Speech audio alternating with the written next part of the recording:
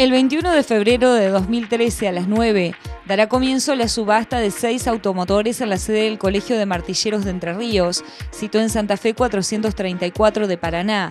Vehículos incautados en la causa Weigel por quiebra fraudulenta de la empresa de Crespo. Para una mejor ilustración de los interesados, próximamente estará disponible el catálogo de unidades en el sitio digital www.comper.org.ar.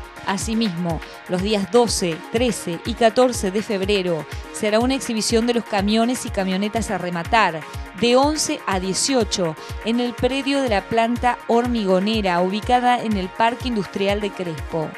En tal oportunidad, los asistentes que quieran participar del procedimiento del día 21 deberán inscribirse presentando su DNI, contra lo cual se les otorgará un número de oferente. Hasta la fecha, la lista de automotores a subastar está conformada por un camión, tres camionetas, una de ellas de doble cabina, un camión internacional y una pick-up. Cabe señalar que todas las unidades se encuentran en condiciones de ser transferidas a sus oportunos compradores y que estos adquieren el bien sin deber impuestos todas las obligaciones impositivas, registrales y de transitabilidad corren por cuenta del adquiriente recién a partir de la compra en la subasta.